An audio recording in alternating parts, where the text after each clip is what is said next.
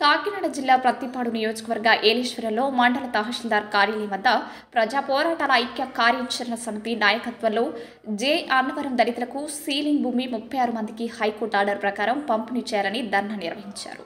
ఏలేశ్వరం మండలం జే గ్రామంలో పూర్వం దళితులకు ఇచ్చిన సీలింగ్ భూమిని భూస్వామి మాజీ టిఫనీ సత్యప్రియ వగైరాల ఆక్రమణలో యాభై సంవత్సరాల నుండి ఉందని దీనిపై జిల్లా కలెక్టర్ వారికి ఆర్డీఓ వారికి మూడు సంవత్సరాల నుండి పోరాటాలు చేస్తూ చివరకు హైకోర్టును ఆశ్రయిస్తే హైకోర్టు వారు ముప్పై ఆరు మందికి సీలింగ్ భూమిని ముప్పై ఆరు మంది దళితులకు పంచమని ఏపీ హైకోర్టు ఉత్తర్వులు జారీ ఇచ్చారని నాయకులు కొసిరెడ్డి గణేశ్వరరావు తెలిపారు. సుమారు సంవత్సరం నుండి జాప్యం జరుగుతుంది తప్ప న్యాయం జరగలేదని ప్రజా పోరాటాల నాయకులు కోసిరెడ్డి గణేశ్వరరావు ఆవేదన వ్యక్తం చేశారు. గతంలో తమపై అనేక తప్పుడు కేసులు పెట్టి భూస్వామి మాజేటి కుటుంబీకులు వేధింపులకు గురి చేశారని హైకోర్టు ఇచ్చిన ఉత్తర్వులను ఇచ్చిన ప్రభుత్వం దళితులకు ఇంతవరకు సీలింగ్ భూమిని పంపిణీ చేయలేదని ఆవేదన వ్యక్తం చేశారు. ఈ కార్యక్రమంలో ఆదివాసీ గిరిజన సంఘం నాయకులు సోమల కుశల మాడెం బాబీ మసిరపు రాజారావు ఎద్దు బుజ్జమ్మ పాక లోహబాబు మిరప లక్ష్మి మసిరిపాము మరియమ్మ తదితరులు పాల్గొన్నారు.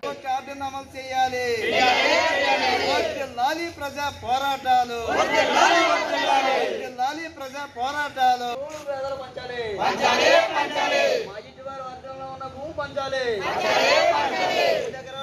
పంచాలి.